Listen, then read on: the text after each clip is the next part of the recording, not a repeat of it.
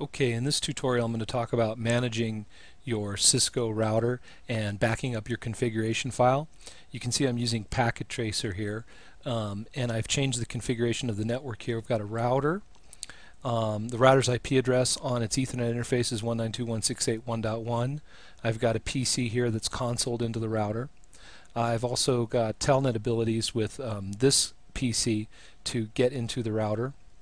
And um, I've got a switch here and also I have a server. So I've put a server on 192.168.1.254 and the server is running TFTP um, TFTP it is a TFTP server. It is running that program. And so as having a TFTP server on this server what we can do is we can back up our configuration file from the router to the TFTP server. A little uh, just about TFTP. Um, it runs on uh, port 69, uses the UDP protocol. Um, basically, when you run a TFTP server, you want to check which folder or directory are the files going to be located so where you can um, back your files up to. And you also want to make sure that you have your firewall, you check your firewall, making sure that the ports are open on port 69 so that you can talk to your TFTP server. Now, once again, this is a virtual environment using Packet Tracer, so I can click on this server and I can go to config and I can go to TFTP and you can see that you just simply turn it on or off and then here are some bin files in here and these are the IOSs the Cisco operating systems for a bunch of different devices just sitting here in the directory that holds the TFTP um, that TFTP server points to, right? Now, in in reality, if you wanted to back up your configuration file or your your IOS, your operating system, to a TFTP server, all you would have to do is basically run a TFTP server on some computer. So I have uh, SolarWinds here that I'm about to install. Uh, SolarWinds TFTP server, and I'm just going to install it right here just to show you how it works. So I'll just click Next, and I'll accept the license agreement, and hit Next. And I'm just going to hit the defaults here. And notice, um, let's see, let's get it running. We'll run the install. So this is a free TFTP server that you can download from the SolarWinds website.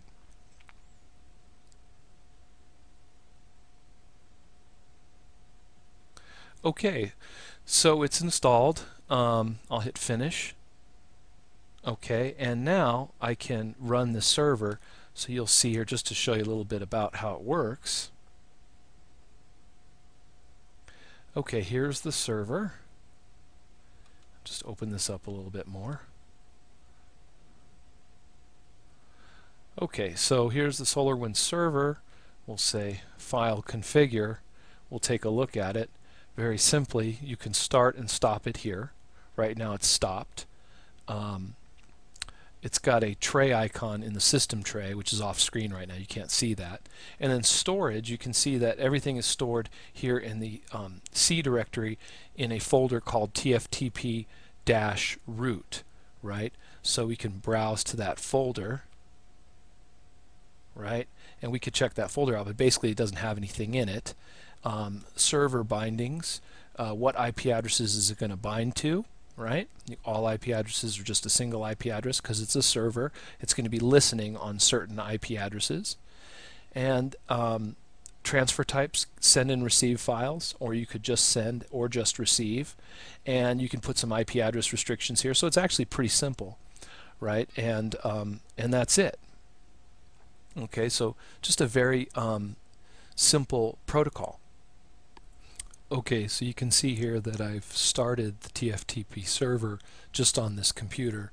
And so now what I can do is I can open a command prompt and I will run a netstat dash A for all and then P and then I'll look for UDP ports and I will find if we're listening on port 69.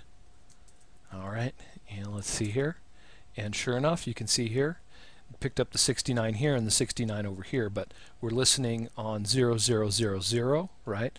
So we're listening on all IP addresses here for um, port 69, so the TFTP server has started. So anyway, that's how you would run a TFTP server, let's say on your local computer so that your um, actual physical router could um, you could uh, back up your configuration file or your IOS to an actual TFTP server. But I'll stop that and now what we'll do is we'll just run this virtually. I'll shut this down and we'll bring up Packet Tracer and we'll run this and we will um, do this virtually through Packet Tracer. Okay, so let's console into our router. So I'll open up this PC, let's say, and I'll get a terminal connection. Since I have a console connection, I'll click OK. And now I have a console connection. I'll put in my password, and then I'll type enable to get to privileged mode. I'll put in the password again. Now I'm in privileged mode. And what I can do is I can say copy, right, and I'll say copy startup dash config space TFTP. And I'll hit enter and it'll ask me for the address of the remote host. Well, I know that my TFTP server is sitting here at 1.254, 192.168.1.254, so I'll just type that in there, 192.168.1.254, hit enter, and the destination file name, it says r1-config, that sounds fine, so I'll just hit enter. And there it goes. It's writing the startup configuration file. It gives me a message that it worked. And so now what I can do is I can just open up this little server here and we can see if it's in there, right? So we'll just take a look here. We'll go off screen and then back to the screen and we'll see if it shows up in here. And there it is at the bottom. R1-config has been copied to the TFTP server. And so what I did was is I copied the startup config file from my router after, through a console connection through this PC, consoled into the router, and then copied the configuration file from the router to the TFTP server. And that's what we see right here. Let's try to copy our IOS, our operating system over there too, and back up our operating system over to the TFTP server also.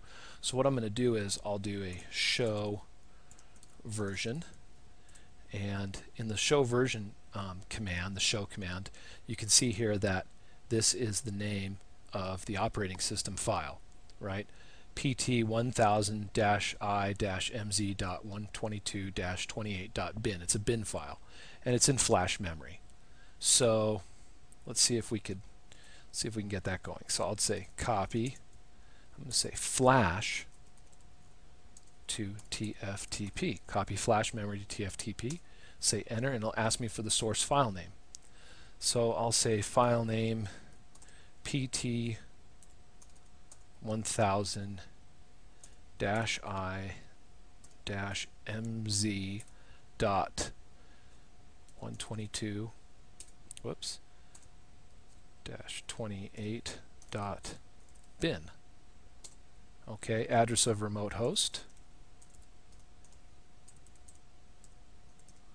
Alright, hit enter. And do I want the same name for the file? Just to make sure that there's already a file probably with this name in there. So I'm going to change the name.